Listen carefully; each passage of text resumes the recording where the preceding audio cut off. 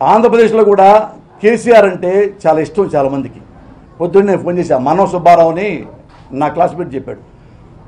అరే కేసీఆర్ భలే మాట్లాడరా ముచ్చటగా స్పష్టంగా క్లియర్గా మాట్లాడరా. అలాంటి వాడే ఉండాలి సీఎం.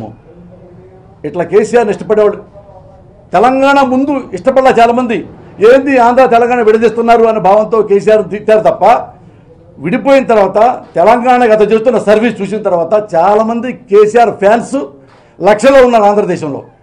కేటీఆర్ కూడా ఉన్నాడు. హరీష్ రావు కూడా ఉన్నారు. నా క్లాస్మేట్స్ నా ఫ్రెండ్స్ చెప్తారుగా అరే జనరల్గా ముఖ్యమంత్రి ముఖ్యమంత్రి కొడుకులు ఎలా ఉంటారు? మీకు తెలుసుగా చాలామందిని. చాలామంది రాష్ట్రాల్లో ముఖ్యమంత్రులు ఉన్నారు. వాళ్ళ కొడుకులు ఎలా ఉంటారు తెలుసుగా. వాళ్ళ కొడుకులతో కేసీఆర్ కొడుకుతో పోల్చుకోండి. వాళ్ళ పిల్లలతో కేసీఆర్ మేనర్లతో పోల్చుకోండి. ఎంత డెడికేషన్ ఎంత సిన్సియారిటీ. ఏపీతో ఏం పోల్చాలి? ముఖ్యమంత్రి కొడుకు. లోకేష్ బాబు పోల్చదగ్గవాడా?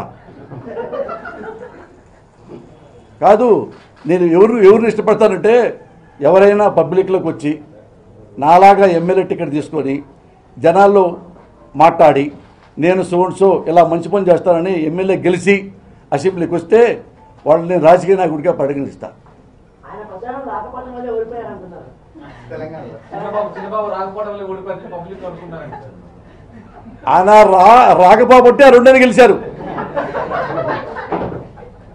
ఆయన రాకపోబట్టి ఆ రెండని గెలిచారు రిటర్న్ గిఫ్ట్ ఇస్తా అన్నారు కదా ఆ.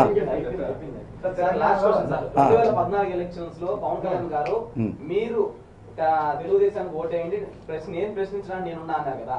సడన్గా ఏమీ చేయలేదు. కనీసం ఒక రిక్రూట్మెంట్ ఇవ్వలేదు ఏమీ ఇవ్వలేదు చంద్రబాబు గారు. ప్రశ్నించకుండా పార్టీ పెట్టి రావడానికి కారణాలు ఏమంటారు?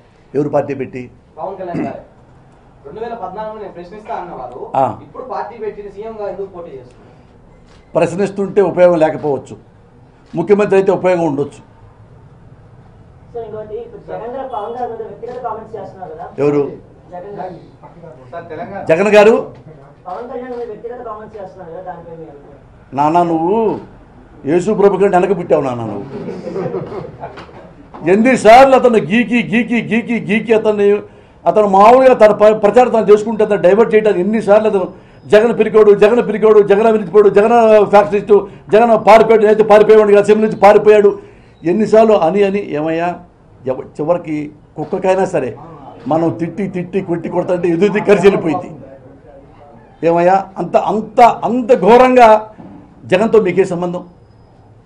నువ్వు జగన్ అగెనిస్ట్ కదా చంద్రబాబుతో కలిశావు. జగన్తో నీకెందుకు? అధికారంలో లేడుగా.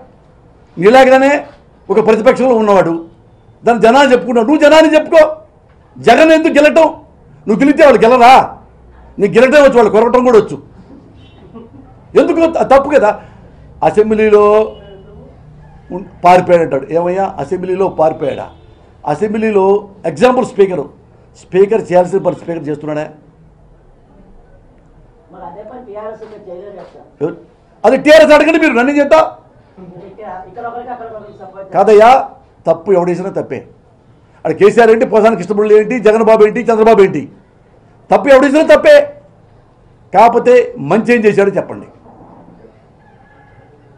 అలాగే బాబు గారు మంచి పనులు చేసి చెప్పండి నేను చెప్తా ప్రచారం చేయండి. పొలాలు నేనే కట్టాను ఇక్కడ పునాదుల నుంచి.